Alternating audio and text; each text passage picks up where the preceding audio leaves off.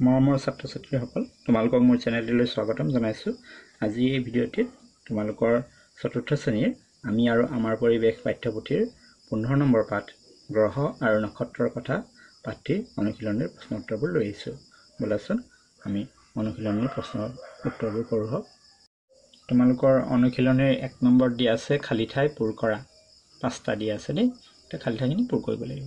প্ৰথম দিয়া আছে ৰাতিৰ আকাশত তিৰবিৰাই থকা তৰাবোৰক ডেছ বুলি কোৱা হয়। কি বুলি কোৱা হয়? ৰাতি যে আমি আকাশত দেখি পাওঁ তৰাবোৰ যে তিৰবিৰাই থকা সেই তৰাবোৰ আচলতে কি জানানে? সেইবোৰ এটা এটা নক্ষত্ৰ হয়। সেইটো নক্ষত্ৰ বুলি কোৱা হয়। এই খালী ঠাইত হ'ব নক্ষত্ৰ। ৰাতি আকাশত তিৰবিৰাই থকা তৰাবোৰক নক্ষত্ৰ বুলি কোৱা হয়। শ নম্বৰ আমি পোহৰ আৰু তাপ পোৱা নক্ষত্ৰটোৰ নাম ডেছ এইটো কি হ'ব? সূৰ্য নহয় জানো? আমি সূৰ্যৰ পৰা তাপ আৰু পোহৰ। সূৰ্যৰ আটাইতকৈ ওচৰত থকা গ্ৰহটোৰ নাম। আমাৰ সূৰ্যৰ আটাইতকৈ ওচৰত থকা গ্ৰহটোৰ নাম কি তোমালোকে জানা নাই? এইটো হ'ব বুধ। বুধ গ্ৰহটো আমাৰ সূৰ্যৰ একেবাৰে ওচৰত থকা গ্ৰহ। ঘ নম্বৰ সূৰ্যৰ পৰা আটাইতকৈ দূৰত থকা গ্ৰহটোৰ নাম। এইটো কি হয়? নেপচুন। নেপচুন। আটাইতকৈ দূৰত থকা গ্ৰহৰ নাম কি? নেপচুন। ন নম্বৰ আমি বাস কৰা গ্ৰহটোৰ নাম। আমি বাস কৰা গ্ৰহটোৰ নাম কি? এইটো পৃথিৱী নহয়নে তাৰপিছত তোমালোকৰ দুই নম্বৰত কি দিয়া আছে? উত্তৰ লিখা। প্ৰথম দিয়া আছে সৌৰজগতৰ আটাইতকৈ ডাঙৰ গ্ৰহটোৰ নাম কি? সৌৰজগতৰ আটাইতকৈ ডাঙৰ গ্ৰহটোৰ নাম জানা নাই বৃহস্পতি। ইয়াৰ উত্তৰ হ'ব বৃহস্পতি। খ নম্বৰ দিয়া আছে সৌৰজগতৰ আটাইতকৈ সৰু গ্ৰহটোৰ নাম।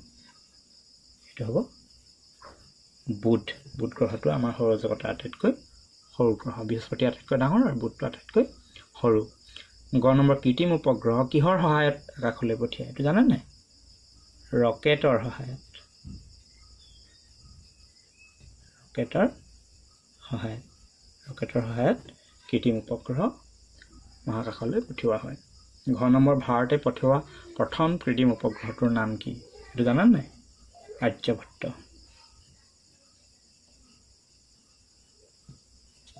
কিতাপত ছবি এটা দিয়া আছে। এইটো এইটোৱে হৈছে আমাৰ ভাৰতে মহাকাশলৈ পঠিওৱা প্ৰথমটো কৃত্ৰিম উপগ্ৰহ। এই উপগ্ৰহটোৰ নাম আছিল আৰ্যভট্ট। তাৰপিছত তিনি নম্বৰ তোমালোকৰ দিয়া আছে পাৰ্থক্য লিখা। নক্ষত্ৰ আৰু গ্ৰহ নক্ষত্ৰ আৰু গ্ৰহৰ মাজত পাৰ্থক্য লিখিব লাগে। চাৰি নম্বৰ দি আছে কৃত্ৰিম উপগ্ৰহ সহায়ত কৰা? দুটা কামৰ বিষয়ে লিখা। আমাৰ যে আমি পৃথিৱীৰ পৰা যে কৃত্ৰিম উপগ্ৰহবোৰ আমি যে উৎক্ষেপণ কৰোঁ সেই কৃত্ৰিম উপগ্ৰহৰ সহায়ত মানে কি কি কাম কৰা হয় সেই উপগ্ৰহবোৰ কি কাৰণত ব্যৱহাৰ কৰা হয় আমি লিখিব লাগে। বোলাচোন এই দুটা প্ৰশ্নৰ উত্তৰ আমি চাই লওঁ। তিনি নম্বৰ গ্ৰহৰ নক্ষত্ৰ আৰু গ্ৰহৰ মাজৰ পাৰ্থক্যটো জানা নাই? এইটো লিখিবা যে নক্ষত্ৰবোৰৰ নিজা তাপ আৰু পোহৰ আছে। কিন্তু গ্ৰহবোৰৰ নিজা তাপ আৰু পোহৰ নাই এইটোৱে লিখিবা। দেই। নক্ষত্ৰ যেনে সূৰ্য সূৰ্যটো নক্ষত্ৰ সূৰ্যৰ নিজা কি আছে? তাপ আৰু পোহৰ আছে। গ্ৰহ যেনে আমাৰ পৃথিৱী। আমাৰ পোহৰ পৃথিৱীৰ নিজা তাপ আৰু পোহৰ আছে জানো? নাই। গতিকে এইটোৱে পাৰ্থক্য। নক্ষত্ৰবোৰৰ নিজা তাপ আৰু পোহৰ আছে বা থাকে কিন্তু গ্ৰহবোৰৰ নিজা তাপ আৰু পোহৰ নাই। এইটোৱে হৈছে নক্ষত্ৰ আৰু গ্ৰহৰ মাজৰ মূল পাৰ্থক্য। তাৰপিছত চাৰি নম্বৰ প্ৰশ্নটো আছিল যে কৃত্ৰিম উপগ্ৰহৰ সহায়ত কৰা দুটা কামৰ বিষয়ে লিখা। তোমালোকে লিখিবা এক নম্বৰত যে বতৰৰ আগজাননী দিয়া কৃত্ৰিম উপগ্ৰহে আমাৰ বতৰৰ আগজাননী ইয়াত সহায় কৰে। দুই নম্বৰ পৃথিৱী পৃষ্ঠত থকা গছ গছনি নদ নদী আৰু ভূগৰ্ভত থকা তেল ধাতু আদিৰ তথ্য জানিবলৈ।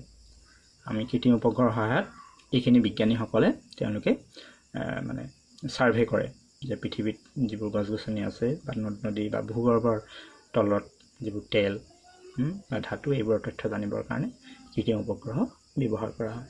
নেক্সট তোমালোকৰ প্ৰশ্নটো আছে ক অংশৰ লগত খ অংশ আস্থানি মিলোৱা। এইফালে গ্ৰহৰ নাম দিয়া আছে আৰু এইফালে সেই গ্ৰহবোৰৰ কিছুমান কথা লিখা আছে মিলাব লাগে। প্ৰথম দিয়া আছে শুক্ৰ। এইটো আমি ক'ত মিলাম জানানে? এইটো পৃথিৱীৰ ওচৰত থকা গ্ৰহ। শুক্ৰটো হৈছে পৃথিৱীৰ ওচৰত থকা গ্ৰহ। গতিকে এইটো ইয়াত মিলাই দিবা। বৃহস্পতি এইটো অলপ আগতে আমি পালোঁ। বৃহস্পতি আটাইতকৈ ডাঙৰ গ্ৰহ সৌৰজগতৰ গতিকে এইটো ইয়াত মিলাই দিবা। তাৰপিছতে বুধ এইটো সূৰ্যৰ আটাইতকৈ ওচৰত থকা গ্ৰহ। আমি পাই আহিছিলোঁ অলপ আগত। পৃথিৱী এইটো জীৱ থকা গ্ৰহ। আমাৰ সৌৰজগতত যে আঠটা গ্ৰহ আছে সেই আঠটা গ্ৰহৰ ভিতৰত পৃথিৱীতে জীৱ থাক থাকিব পৰা পৰিৱেশ আছে নহয় জানো? বৰ্তমানলৈকে অন্য গ্ৰহত তেনেকুৱা জীৱ থকাৰ সন্ধান পোৱা নাই। গতিকে এইটো ইয়াত পৃথিৱীয়ে হৈছে জীৱ থকা একমাত্ৰ গ্ৰহ। তাৰপিছত নেপচন কি হ'ব এইটো? সূৰ্যৰ পৰা আটাইতকৈ দূৰত দূৰত থকা গ্ৰহ মৰমৰ ছাত্ৰ ছাত্ৰীসকল আজি ভিডিঅ'টো ইমানেই আছিল ভিডিঅ'টো ভাল লাগিলে লাইক কৰিবা শ্বেয়াৰ কৰিবা আৰু মোৰ চেনেলটো যদি প্ৰথম তেন্তে চেনেলটো ছাবস্ক্ৰাইব কৰি ল'বা আৰু ওচৰত থকা বেল আইকনটো প্ৰেছ কৰি দিবা যাতে মই দিয়া ভিডিঅ'ৰ ন'টিফিকেশ্যনবোৰ পাই থাকা। ভিডিঅ'টো বাবে ধন্যবাদ।